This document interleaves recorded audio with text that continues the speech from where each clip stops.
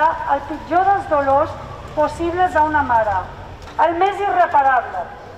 El maltractador, les dia rere dia, produint-li el dolor més extrem i més durador. Com vam dir fa unes setmanes a la concentració per Naguarda i en Mohamed, des de 2013 s'han produït en mans dels seus